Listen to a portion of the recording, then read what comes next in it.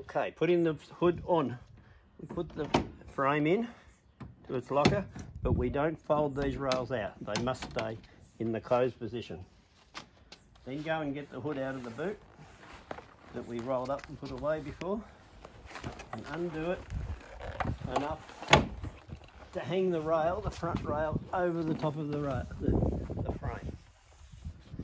Then we come to the back of the car and we've got to remember that we have six points that are important.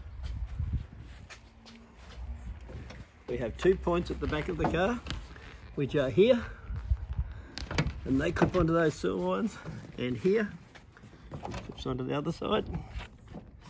And then we have the door sides, one on each side. One goes under there, and the other side This one goes in here.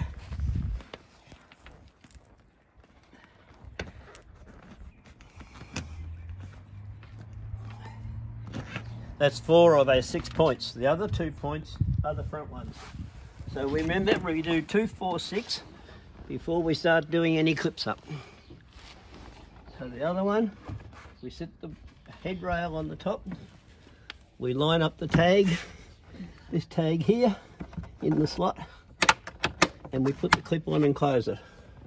We then do the other side.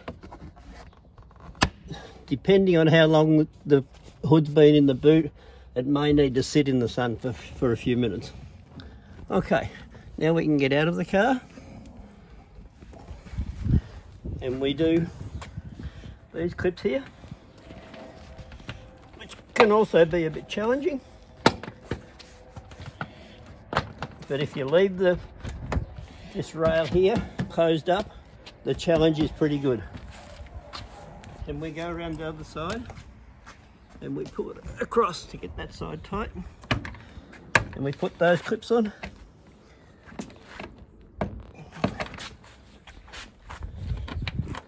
Sometimes they're easy, sometimes you've got to have two or three goes. And then we, so we're now at the inside of the car. We've done all our clips up. We're going to pull the front frame forward. It's a bit tricky, but you just push it underneath and it comes forward and you go whack forward, whack forward. And that holds that top bit up.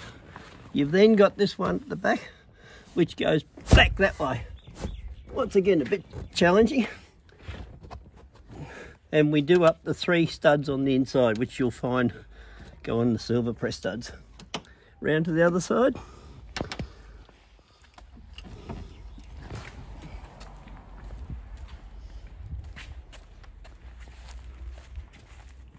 And we hop in and we finish putting it, pushing that back rail back and put the three press studs on. One, two, three.